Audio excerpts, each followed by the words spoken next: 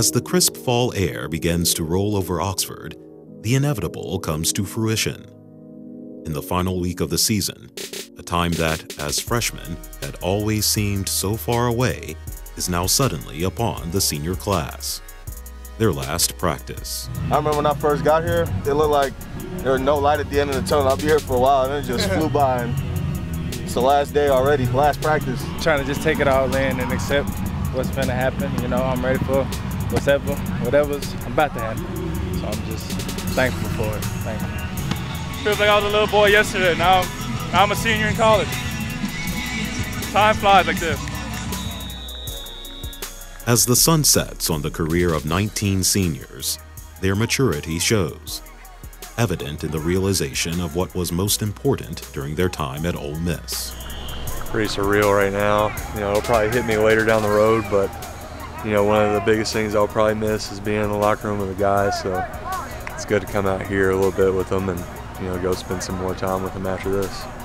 Man, look, we got the last tackle coming in. My last tackle as an Ole Miss Rebel is about to happen. Wearing 38, it means a lot. I didn't really think it was gonna mean as much until it's time now, but it means a whole bunch. It's, it's crazy. Let's go, bring it in, grab a knee. Even though it's Tuesday, it's a normal Thursday for us. But instead of uh, Player of the Week this year, we're doing Scout Team Player of the Year. Okay, so Scout Team, Scout Team Player of the Year to lead us out of the tunnel in our last game for the defense. For the defense, Jacob Sendoya. Great job all year. Great job. Great job. All right, hey, and for uh, for the offensive side of the ball, uh, Jordan Abear.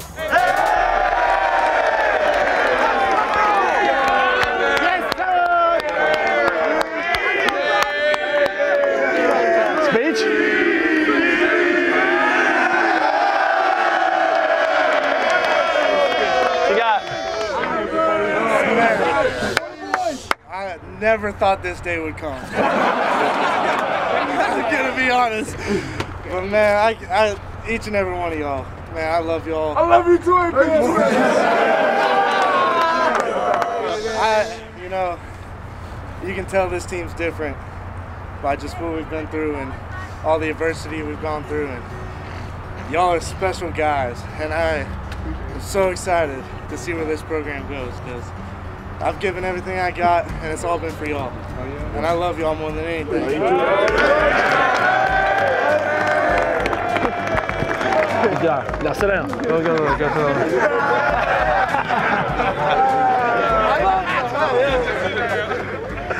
All right. Hey, now we have a um, we have a tradition. It's called last tackle. It's for the last the last practice uh, for the seniors. Th- This, this is a really special group. It's a group that uh, they've been through a lot, and they, they didn't sign up for any of it, but they've been through a lot. Anybody anybody can leave when it's easy, but during tough times, that's when real people step up. Real leaders step up at the toughest and the darkest moments, and that's what this senior class has done. So I just, uh, man, I, I'm, I'm grateful to you, and I love you. And uh, so we're going to tribute. So what, what I need you to do is seniors go line up on uh, on Tom. First up, Floyd Allen.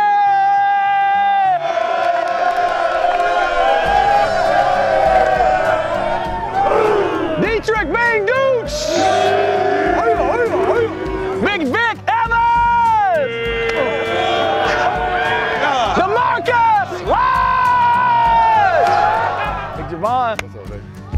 Here we go. Javon Patterson. Big Ross Donnelly.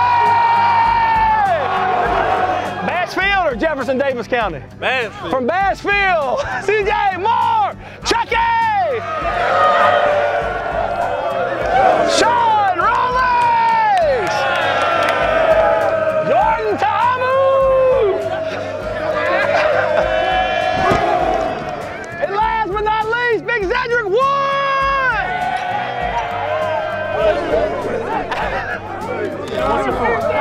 Uh, these for my seniors, man. Uh, you know, you got Ken and J Ham. Um, you know, they've been my dogs since day one. You know, Ken took care of me my first day here, and uh, I just wanted to make sure I took care of him on his last day out. You know, that's that's it, man. I love them boys, man. I'm gonna miss them.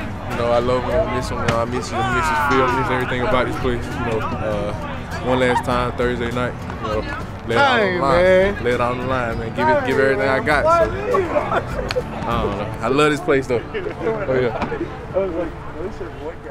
With the senior practice finished, one tradition has come to an end. Now, with the work put in, Ole Miss football student athletes have the opportunity to cool down and relax in the company of their teammates.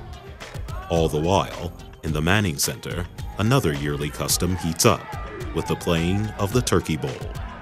The managers versus the trainers. For the past 10 seasons, it has been a game controlled exclusively by the managers. Think about all those managers that came before us. You think they want to see this streak come to an end? I don't think so. The managers solidified the series last year with a decade of dominance. But each year, a feisty new slew of trainers arrive, hoping to hoist the trophy. Managers taking the L, trainers first dub, 10 years. Let's go. Might be, we're, we're looking to throw up a six piece today, 60 nothing. Me! Me! See you guys. I don't know why I managed. I should have played. Yeah. Should have walked on.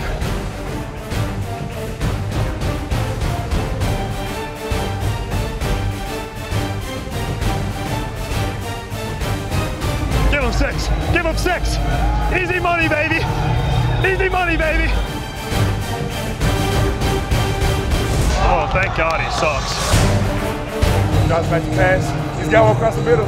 Oh, but he wants the deep ball. He's got him. No hands. Dig route, dig route. Nope, never mind. Nope, we're not doing that. Over, oh, I'm over. Ooh.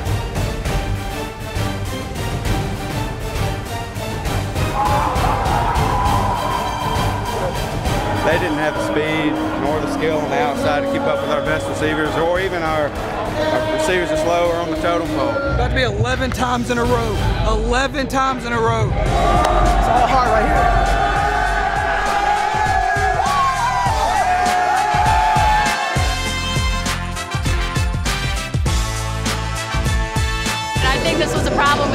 Organization. I think if we had a better, more experienced coaching staff, this kind of thing would have happened. I know a lot of players were just here so we wouldn't get fined. 5 and 0 as a student.